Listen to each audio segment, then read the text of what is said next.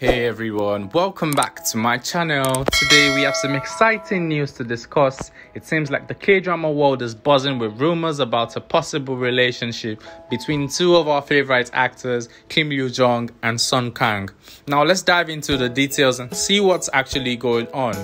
So, the rumor mill has been churning out speculations about Kim Yoo Jung and Song Kang being in a relationship.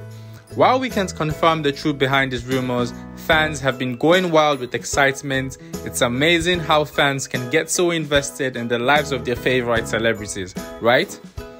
One thing fans have noticed is the incredible chemistry between Kim Yoo Jung and Song Kang in their on screen collaborations.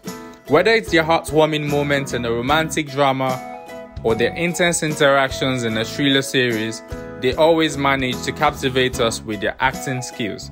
Could this chemistry be more than just acting? Fans have been expressing their support and love for Kim Yoo Jung and Song Kang, regardless of their relationship status.